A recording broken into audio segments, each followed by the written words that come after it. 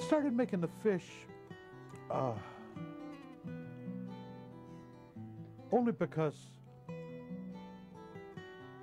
I live on the lake in, in uh, Kentucky, and all the people around had the taxidermy fish on the wall, and I thought they were really ugly. And I had made, uh, uh, one of my clients in the past had been Alcoa Aluminum, so I'd made a lot of metal stuff for them, uh, you know, for their ads. And I said, I can make fish that are better than that. And so I started making them, and uh, here we are. The hardest part of all of this is, is uh, doing something that's a little unique. So I think it takes a person who's a little unique. And, and I don't mean, by unique, I don't mean you be strange. Uh, you know, there, there are a lot of people, and uh, especially young artists today, who are just trying to do things off the wall just because they think it hasn't been done. It has been done, believe me. Uh, the difference is you got to do it better. Uh, you got to you got to be unique. You got to be an individual. You got to have a style, but you can't you can't get out of school and say I have a style because that the style doesn't happen like that. Style or your signature or whatever you want to call it uh, happens over a number of years, and and uh, uh, it's created involuntarily. My whole career has been slightly bent toward the humorous, if you will. You know, uh, uh, until last year, I did a comic strip for 15 years. Everything has been, you know, kind of that way. Uh, I've I've always enjoyed putting warmth, if you will, into my illustrations when I did illustrations, into my uh, uh, comic strip, into and into my fish. And I think my fish have personalities. Uh, and there's certain ones I like better than others, but you know, it just happens that way, and it will always happen that way.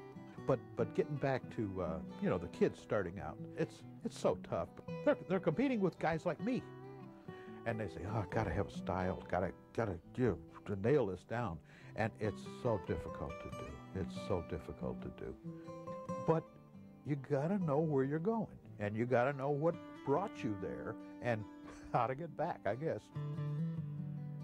Well, fish are are are quite unique in that they're pretty much a very simple shape with anything that you could add on to them becomes personality.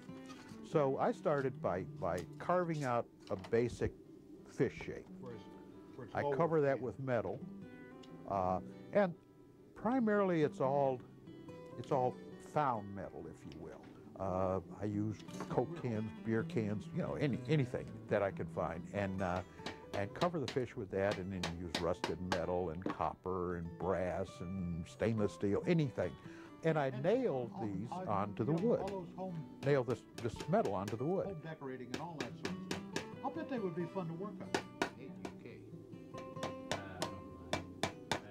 And I used, I used the nails as a design element, uh, much like line in paintings and whatnot.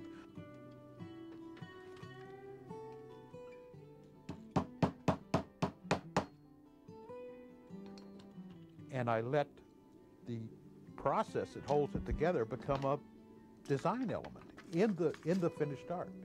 Uh, and I, it it just pleases me the way it turns out.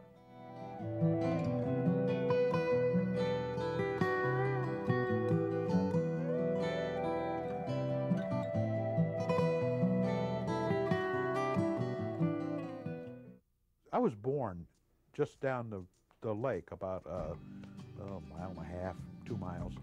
Uh, so I wanted to come home, number one. Uh, hadn't lived in uh, Kentucky since I was 13 years old. Wanted to come home, and primarily I wanted to uh, enjoy a better standard of living, not standard of living, but a better, uh, just lifestyle, if you will. Being a commercial artist, uh, or being an artist of any kind, is, is a very tenuous, if if uh, if nothing else, existence. Because you know, I don't have a job where I I never had a job where you know 40 hours a week I get paid. You know, uh, other than you know when I was first starting out.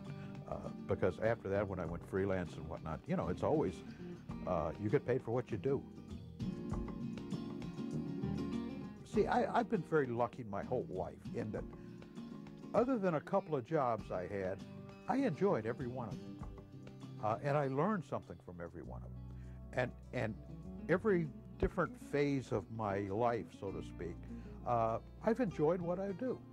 Now, I don't think a lot of people can say that. Uh, a lot of people, you know, yeah, I got to go to work.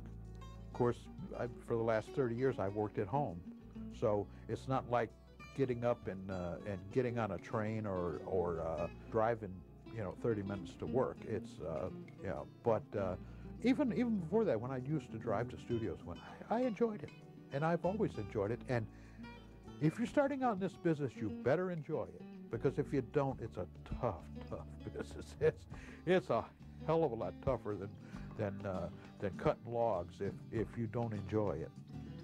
Oh, I get a I, I get a lot of satisfaction out of uh, starting out with a piece of blank wood, doing all the things to it, you know, nailing the little things on, and ending up with something that I think looks pretty good. Uh, so so there's a there's a satisfaction that I get that I probably wouldn't get if I were selling an insurance policy. There is something that is substantial and stable after the process I go through.